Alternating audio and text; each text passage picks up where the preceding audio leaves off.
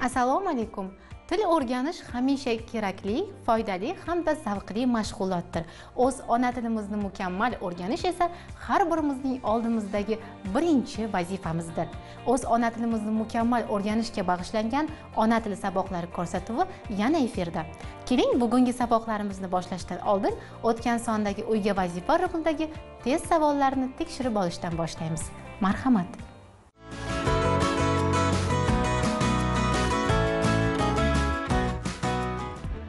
Zamonamiz yoshlari. Siz shavkatli tariximizni qadrlashingiz uni o'z hissalaringiz bilan boyitishingiz kerak. Ushbu gapda qatnashgan yasama so'zlar haqidagi to'g'ri ma'lumotni toping. Fe'ldan yasalgan ot qatnashgan sifatdan yasalgan ot qatnashgan otdan yasalgan sifat qatnashgan fe'ldan yasalgan sifat qatnashgan.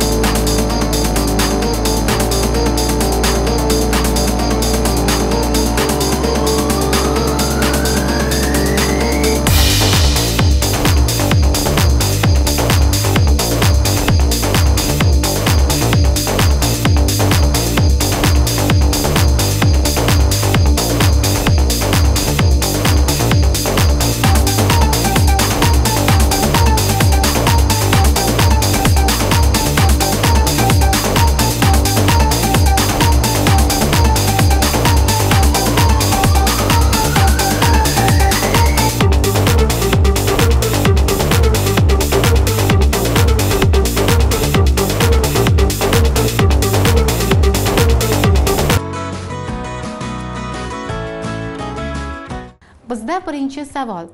Qaysi javobda ma'noli qismlari asos lug'aviy shakl yasovchi so'z yasovchi sintaktik shakl yasovchi tartibida joylashgan ot turkumiga oid so'z qatnashgan?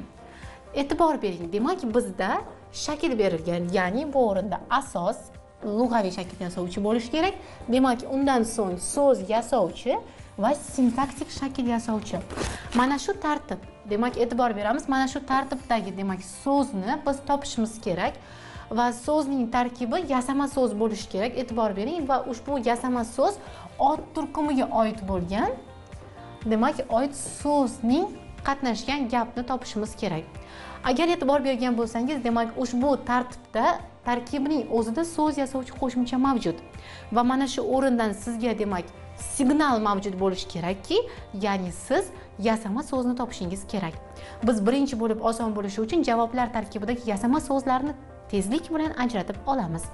A javobda abbos parta ustidagi o'chirg'ichni menga uzatib yuborgin. Ushbu gap tarkibida ikkita yasovchi demak so'z bor. Yasama so'zlar mavjud. Bular ustidagi va o'chirg'ichni.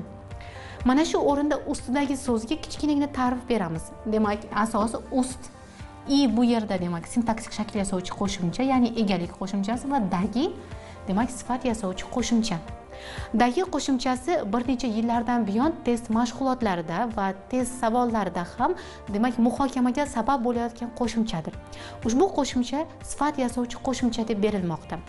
Dtm test savollarida ham dagi qo'shimchasini demak sifat yasovchi qo'shimcha sifatida olishgan. Savollar tarkibida ham dagi qo'shimchasi yasovchi qo'shimcha sifatida berilmoqda. Va biz ham savollar tarkibidagi dagi qo'shimchasini sifat yasovchi qo'shimcha sifatida qabul qilamiz. Endi keling b javobga. Qishloqdagi so'zi. Qishloqdagi so'zning asosi qishloq so'zi. Va ushbu so'zda ham juda ko'p abituriyentlar demak chalkashadi. Qishloq so'zi yasama so'z emas lekin bitta asosga ko'ra ya'ni ushbu so'z tarixan yasalgan so'zdir. Ushbu so'zning asosi tarixan qishlamoq so'zidan hosil bo'lgan. Qadimda demak qadimda odamlar qishlash maqsadida turli xil qabilalar bir o'ringa birlashishgan va ular qabila qabila bo'lib yashash tarzida qishlash ya'ni qishni o'tkazish maqsadida ma'lum bir hududni o'zlariga mustahkamlab mana shu hududda o'rin joy hosil qilishgan va yillar o'tib shu yerga moslashib o'troqlashgan. Lekin mana shu joy keyinchalik qishlash so'zidan hosil bo'lib qishloq so'zi o'rin joy otini yasovchi qo'shimcha qo'shilishi natijasida hosil bo'lgan. Lekin hozirgi kunda biz qishloq so'ziga nisbatan yasama so'z sifatida qaramaymiz. Ya'ni ushbu so'zni tub bitta asos sifatida qabul qilamiz. E'tibor bering mana shu so'zning o'zi demak qish ya'ni fasl va la fe'l yasovchi qo'shimcha qishla va q o'rin joy oti yasovchi qo'shimchani qo'shish orqali hosil bo'lgan. Lekin hozirgi kunda ushbu so'zni yasama so'z sifatida qabul qilmaganligingiz uchun asosni bitta qishloq deb olamiz va dagi demak yana yasovchi qo'shimchaligicha qoladi. Do'konlarda oziq ovqat mahsulotlari demak kiyim kechak va hattoki yoqilg'i sotiladi. Ushbu gapda demak e'tibor bering kiyim kechak so'zi tarkibidagi birinchi juft so'zning tarkibidagi kiyim so'zi yasama so'z va asosiy kiymoq va im ot yasovchi qo'shimcha. Keyingi kechak so'zi esa demak yasalgan so'z emas. Juft so'zlar mavjudki ularning bir qismi yasama va ular ma'no anglatuvchi qism ikkinchi qismi esa ma'no anglatmaydigan qismlar mavjud. Mana shunday misolga kiyim kechak juft so'zni misol qilishimiz mumkin. Keyingi so'z yoqilg'i so'zi. Ushbu so'z ham demak yasama so'z va yoqmoq ya'ni nimagadir o't qo'ymoq ma'nosidan hosil bo'lgan va bu o'rinda yoqilg'i so'zida demak g'iy qo'shimchasi va il qo'shimchalar demak yasama qo'shimchalar hisoblanadi. Yoqil il bu o'rinda demak yasovchi emas balkim nisbat qo'shimchasi va g'iy bu yerda ot yasovchi qo'shimchadir. Yoqilg'i endi esa d javob. Qizg'anchiqdan sen saxovat kutma. Ushbu gap tarkibida bittagina yasama so'z mavjud va bu qizg'anchiq. Bu o'rinda qizg'anchiq so'zining asosi qizg'anmoq. Ya'ni nimanidir o'ziniki sifatida bilib qizg'anmoq so'zi asos tarkib va chiq bu yerda sifat yasovchi qo'shimchadir. Keyingi e javob ko'z ko'z qilma ko'z tegar maqtanchoqqa so'z tegar.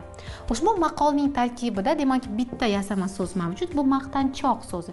Demak maqtanchoq so'zining asosi maqta ya'ni kimnidir olqishla degan ma'no maqtan bu yerda n o'zlik nisbati qo'shimchasi va choq bu yerda sifat yasovchi qo'shimcha. Endi esa keling demak bizda yasalma so'zlarni ajratdik. Bular demak ustidagi o'chirg'ich so'zi ham demak ushbu o'rinda belgilamay ketgan ekanmiz. Demak biz ikkinchi so'z o'chirg'ich so'ziga qaraymiz. Demak asosi demak o'chmoq bu yerda asos ir bu yerda demak lug'aviy shakl yasovchi qo'shimcha ya'ni nisbat hosil qiluvchi qo'shimcha orttirma nisbat qo'shimchasi va g'ich bu yerda demak so'z yasovchi qo'shimcha. Va ni mana bu yerda sintaktik shakl yasovchi qo'shimchadir. Ya'ni demak e'tibor bering ni tushum kelishiga qo'shimchasi ya'ni sintaktik shakl yasovchi qo'shimcha. Keyingi so'z demak qishloqdagi so'zi qishloqdagi so'zni ham qabul qilmaymiz chunki faqatgina asos va so'z yasovchi qo'shimchadan hosil bo'lgan. Kiyim so'zni ham qabul qilmaymiz chunki faqatgina asos va so'z yasovchi qo'shimcha. Keyingi yoqilg'i so'zi ham demak yoqmoq bu yerda asos il demak lug'aviy shakl yasovchi qo'shimcha g'i bu yerda demak so'z yasovchi qo'shimchadir. E'tibor bering bizda yana bir karra sintaktik shakl yasovchi qo'shimcha ham so'ralmoqda lekin ushbu so'z tarkibida bunday qo'shimcha mavjud emas. Shuning uchun biz bu javobni ham chiqarib tashlaymiz. Keyingi d javobdagi qizg'anchiqdan so'zi ushbu so'zning asosi qizg'an demak mana bu yerga yozamiz asos va bizda demak qizg'an. Bu yerda chiq demak chiq qo'shimchasi so'z yasovchi qo'shimcha so'z yasovchi va unga qo'shilgan dan bu yerda chiqish kelishiga qo'shimchasi bo'lganligi uchun sintaktik shakl yasovchi qo'shimchadir. E'tibor bering bizda mana shu o'rinda yana o'rtada bitta mavjud bo'lgan lug'aviy shakl yasovchi qo'shimcha so'ralmoqda. Ya'ni so'z yasovchidan oldin qo'shilishi kerak edi. Lekin bizda mavjud bo'lmaganligi uchun ham d javobni ham demak chiqarib tashlaymiz. Keyingi e javobda bizda maqtanchoqqa so'zi. Maqtanchoqqa so'zini tarkibida demak maqtamoq asos mana bu yerda demak maqtamoq asos n bu yerda nisbat qo'shimchasi bo'lganligi uchun lug'aviy shakl yasovchi qo'shimcha. Demak choq bu yerda so'z yasovchi qo'shimcha va demak qa bu yerda shakl yasovchi ya'ni sintaktik shakl yasovchi qo'shimcha. E'tibor bering sintaktik shakl yasovchi qo'shimcha. Endi esa demak e'tibor berayotgan bo'lsangiz bizda mana shunday demak yuqoridagi tartibga tushadigan ikkita so'z mavjud ekan. E'tibor bering bular o'chirg'ichni so'zi va maqtanchoqni so'zi. Endi bizda shunday savol tug'ilishi mumkin. Demak javoblar ikkita ekanda ikkita to'g'ri javob mavjud ekanda. Yo'q unday emas. Chunki siz savolni yana bir karra o'qishingiz kerak. Savol so'ngida mana shunday tartibda joylashgan demak belgilab qo'yganimizdek ot turkumiga oid so'z so'ralmoqda. Demak biz ikkita so'zga qaraymiz. Birinchisi o'chirg'ichni so'zi ot so'z turkumi narsa oti va keyingisi maqtanchoqqa ya'ni kimga? Bu yerda maqtanchoq so'zi sifat so'z turkumidir. Ya'ni maqtanchoq odamga. Demak maqtanchoqqa so'zi sifat bo'lganligi uchun chiqib ketadi. Demak bizda to'g'ri javob mavjud va mana shunday javob a javobdir. A javobdagi o'chirg'ichni so'zi mana shunday tartibga javob beruvchi ot so'z turkumidagi so'zdir.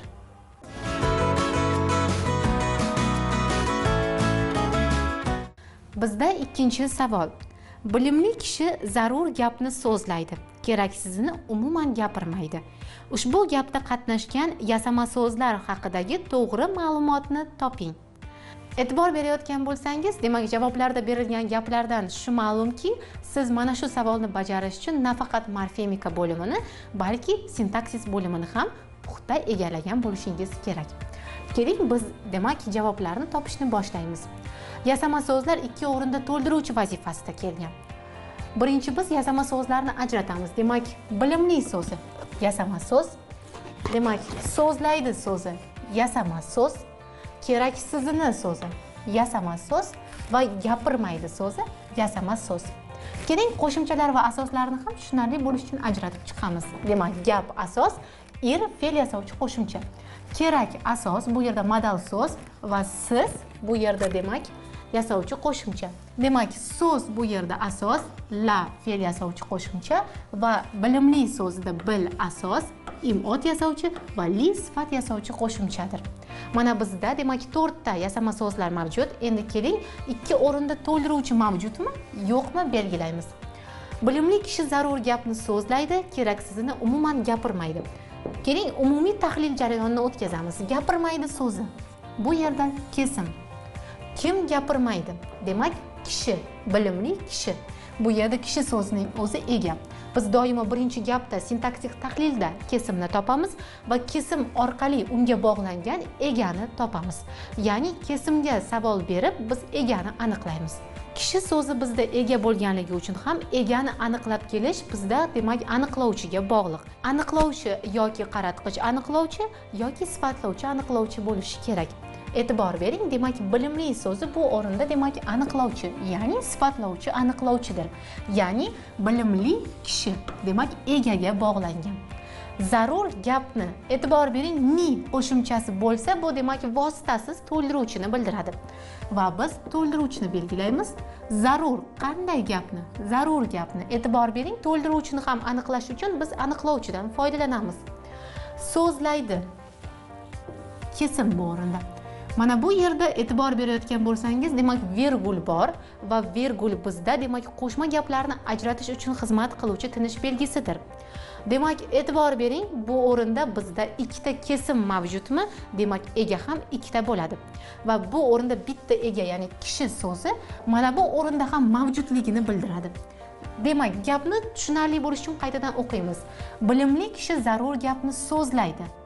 So'zlaydi. Kim so'zlaydi? Kishi so'zlaydi. Endi mana shu egani mana shu o'ringa qo'yib yana. Kishi keraksizini umuman gapirmaydi. Ya'ni o'sha odam keraksiz gapni umuman gapirmaydi degan ma'no yuzaga keladi.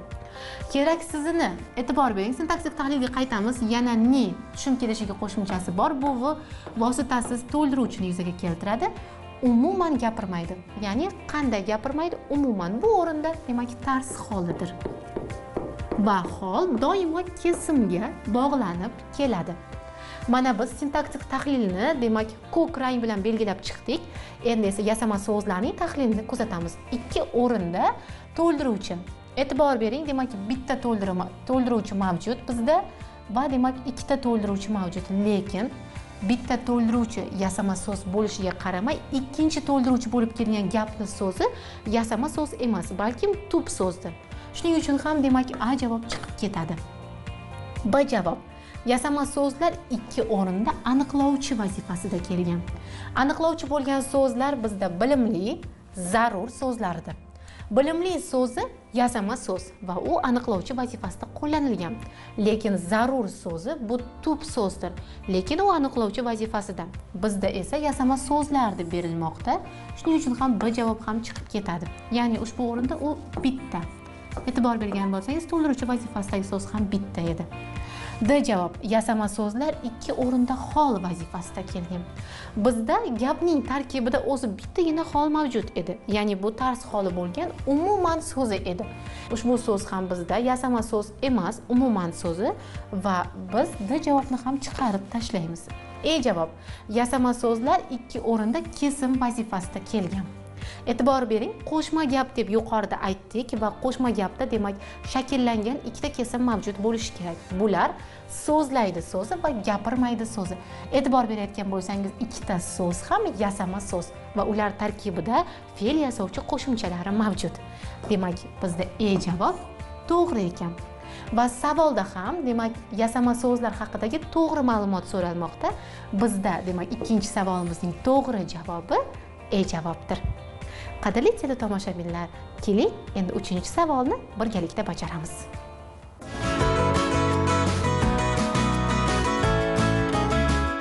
Bizda uchinchi savol. Qaysi javobda shakldoshiga ega bo'lgan asosdan yasalgan yasama so'z berilgan? E'tibor berayotgan bo'lsangiz bir necha saboqlarimizdan oldin sizlar bilan shakldosh so'zlar mavzusiga doir bo'lgan bir necha test savollarini ko'rib chiqdik. Va demak shakldosh so'zlar mavzusida bilimlaringiz yanada mustahkamlandi degan umiddamiz. Hozirgi savol esa sizga qiyinchilik tug'dirmaydi. Demak bizda o'zini shakldoshiga ega bo'lgan asosdan yasalgan yasama so'z so'ralmoqda. Bu o'rinda biz leksikologiya bo'limidan va morfemika bo'limidan foydalanamiz. A javobdagi tushirtirmoq so'zi demak ushbu so'zning asosi tush. Ir bu yerda demak orttirma nisbat qo'shimchasi tir qo'shimchasi ham orttirma nisbat qo'shimchasi. Siz ir qo'shimchasi bilan adashmasligingiz kerak. Demak ir qo'shimchasi shakldosh qo'shimchadir. Shakldoshlik faqatgina so'zlar orasida mavjudlik emas balkim u qo'shimchalar orasida ham mavjuddir. Ir qo'shimchasi gap so'ziga qo'shilganda bu yerda demak so'z yasovchi qo'shimchadir. Demak so'z yasovchi ya'ni gapir so'zi hosil bo'ladi. Lekin mana shu so'z ya'ni tushmoq so'ziga ir qo'shimchasi qo'shilganda tushir ya'ni buyruq ma'nosi mavjud. Orttirma nisbat qo'shimchasining asosi ham qilayotgan ishni o'zi emas balkim boshqa uchinchi bir kishiga bajartirish vazifasini o'taydi.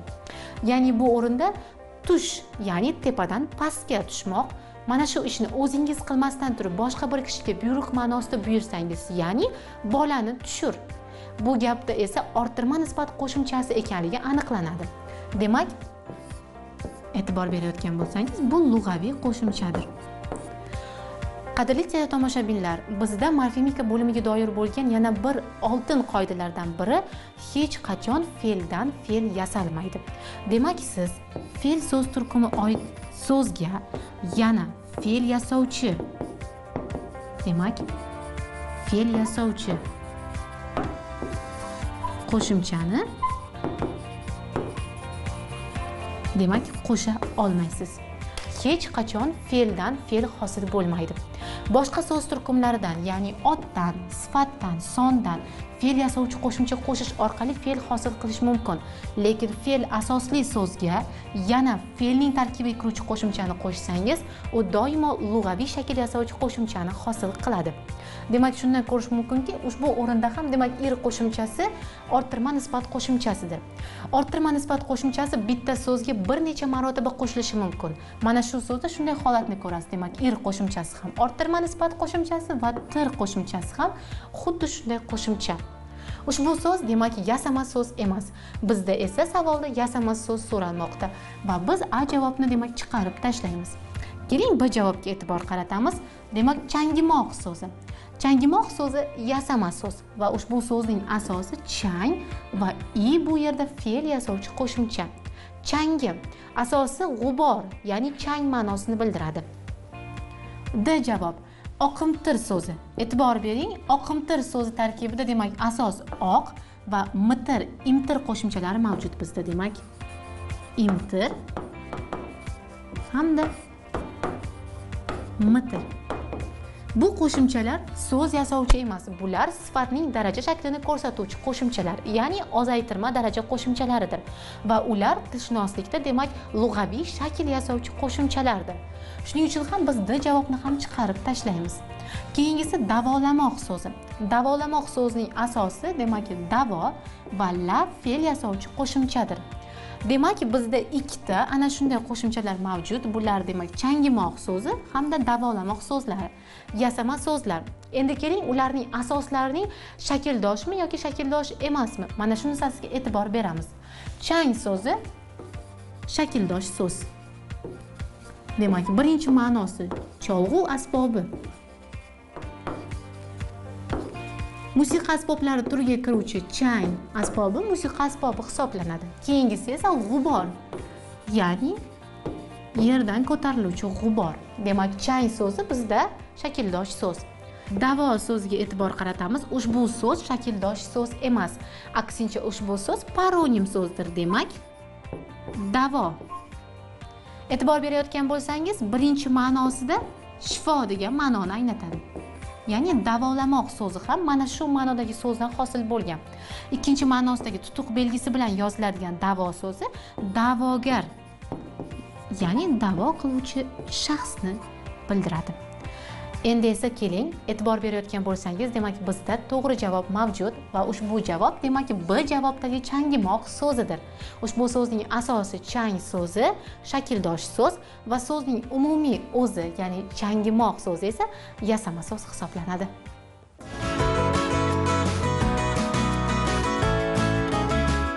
To'rtinchi savol.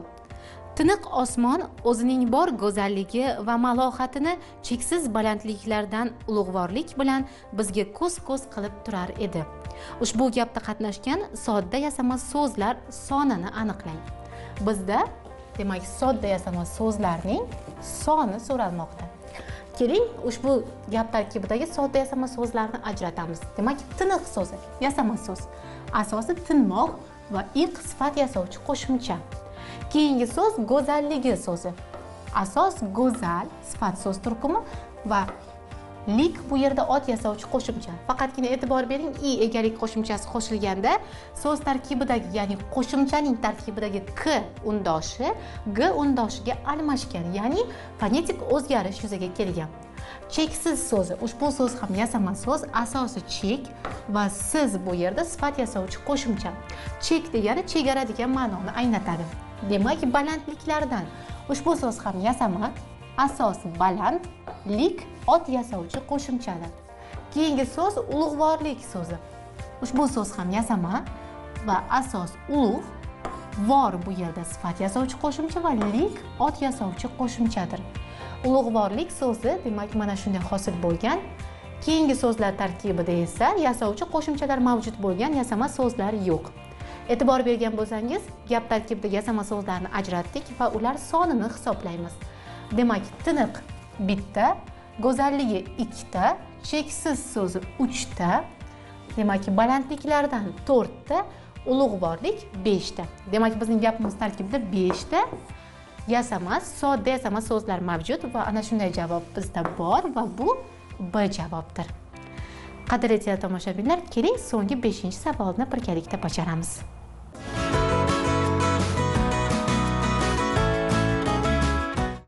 So'nggi beshinchi savol. Tarkibida ot sifat va fe'l turkumiga oid yasama so'zlar ishtirok etgan gapni aniqlang. Demak ushbu savolning javobini topish uchun biz nafaqat morfemika bo'limidan va morfologiya bo'limidan ya'ni so'z turkumlaridan ham foydalanamiz. Bizda sodda yasama so'zlar uch turkumga otga sifatga va fe'lga aloqador bo'lishi kerak. Keling gaplar tahlilini boshlaymiz. A javobda. Ekinlar tomiriga qon yugurdi. So'lg'in yaproqlar asta jonlana boshladi. Ushbu gapda birinchi so'z ekinlar so'zi sodda yasama so'z va ekmoq fe'l so'z turkumidan in ot yasovchi qo'shimchasini qo'shish orqali hosil bo'lgan. Keyingi so'z demak so'lg'in. So'lmoq fe'l so'z turkumiga g'in sifat yasovchi qo'shimchasini qo'shish orqali so'lg'in so'zi hosil bo'lgan. Keyingi so'z demak jonlana so'zi. Ushbu so'z tarkibida ham demak asos jon ot so'z turkumi va lan demak fe'l yasovchi qo'shimcha hisoblanadi. Keyingi so'z boshladi so'zi. Asos bosh ot so'z turkumi la la qo'shimchasi esa bu o'rinda fe'l yasovchi qo'shimchadir. Demak to'rtta so'z va keling ularning birgalikda so'z turkumlarini ham aniqlab ketamiz. Demak ekin so'zi ot so'z turkumi. So'g'in so'zi. Sifat so'z turkumi. Jonlana. Demak bu yerda jonlan so'zi demak fe'l. Fe'l so'z turkumidagi so'z va boshladi. Demak fe'l so'z turkumidagi so'z. Keling b javobga e'tibor qaratamiz. Tongning tarovatli shamoli bir nafasgina go'daklik yillarini qaytarar emish. Ushbu gap tarkibida demak tarovatli so'zi. Yasama so'z. Tarovat asos va li sifat yasovchi qo'shimcha. Demak shu so'zning turkumi sifatdir. Keyingi so'z. Demak nafasgina go'daklik. Go'daklik so'zi yasama so'z. Go'dak ot va lik ham ot yasovchi qo'shimcha. Faqat e'tibor bering go'dak so'zi bu yerda shaxs otni bildiruvchi so'z bo'lsa lik qo'shimchasi demak mavhum ot yasovchi qo'shimchadir. Ya'ni go'daklik davri yillari bu o'rinda ham demak ot yasovchi qo'shimcha keyingi so'z qaytarar emish. Ushbu so'zlar tarkibida esa demak yasovchi qo'shimchali yasama so'zlar mavjud emas. D javob. U shuni angladiki cho'l o'zlashtirish cho'lda ishlash bilimsizga qiyin ekan. E'tibor bering ushbu so'z tarkibida demak angladiki so'zi yasama so'z bu yerda ong ot so'z turkumi va la fe'l yasovchi qo'shimcha. Demak so'zning asosi ot so'z turkumidan hosil bo'lgan so'zning o'zi esa fe'l so'z turkumiga tegishli. Keyingi so'z demak o'zlashtirish. Ushbu so'zning asosi o'z. Bu o'zlik olmoshi va o'zlik olmoshiga lash fe'l yasovchi qo'shimchani qo'shish orqali fe'l so'z turkumi hosil bo'lgan. Ishlash so'zi. Ushbu so'z ham yasama so'z demak ish ot so'z turkumiga la fe'l yasovchi qo'shimchani qo'shish orqali fe'l so'z turkumi hosil bo'lgan. Bilimsiz so'zi. Asos bilmoq fe'l so'z turkumi va unga im ot yasovchi qo'shimchasi undan so'ng esa siz sifat yasovchi qo'shimchasi qo'shilgan. Va demak biz oxirgi qo'shimchaga qarab uning sifat ekanligini anglaymiz va ajratamiz demak qiyin ekan. Bu so'zlar tarkibida esa demak yasovchi qo'shimchali so'z mavjud emas.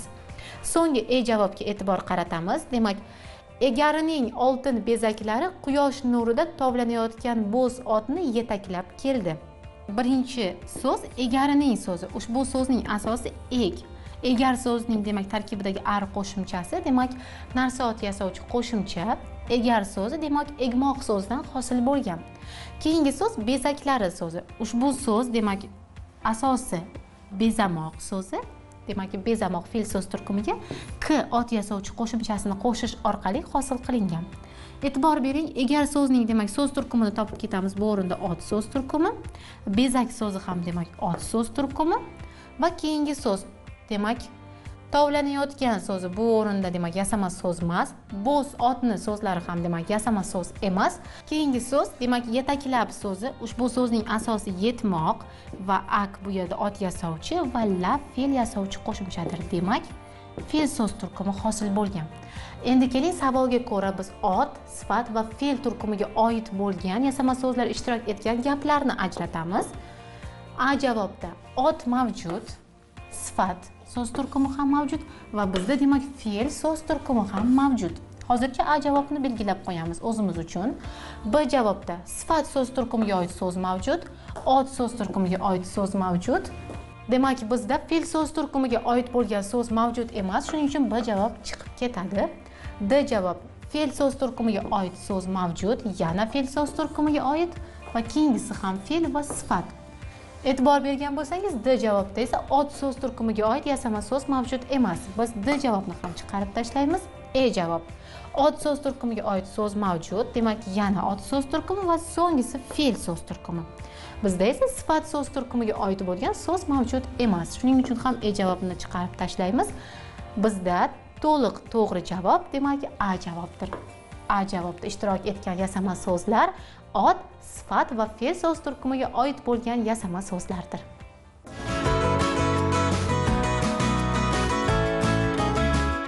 Test mashg'ulotlari egallagan bilimingizni yanada mustahkamlash hamda bilmaganlaringizni o'rgatadigan eng yaxshi yo'ldir.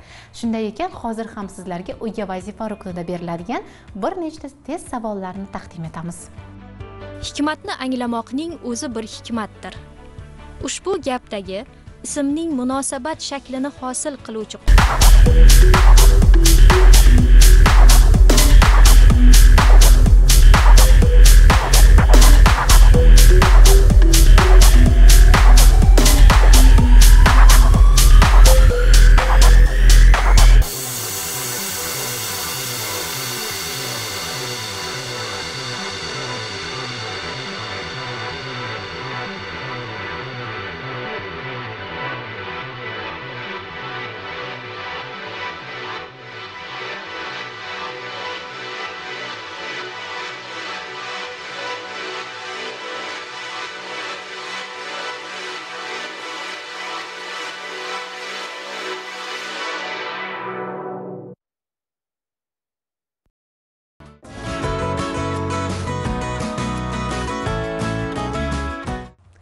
qadrli tomoshabinlar bugungi ko'rsatuvimizga mo'ljallangan test savollari mana shulardan iborat edi. Agarda siz uyga vazifa ruknida berilgan test savollarining javoblarini allaqachon topib ulgurgan bo'lsangiz ularni telegram ijtimoiy tarmog'idagi ona tili saboqlari uchun mo'ljallangan maxsus guruhga yo'llashingiz mumkin. Ushbu guruhga kirish uchun esa maxsus linkdan ham foydalanishingiz va javoblaringizni yo'llash tartibidan boxabar bo'lishingiz mumkin. Biz sizning javoblaringizni kutib qolamiz. Kelgusi ko'rsatuvimizda ko'rishguncha xayr omon bo'ling.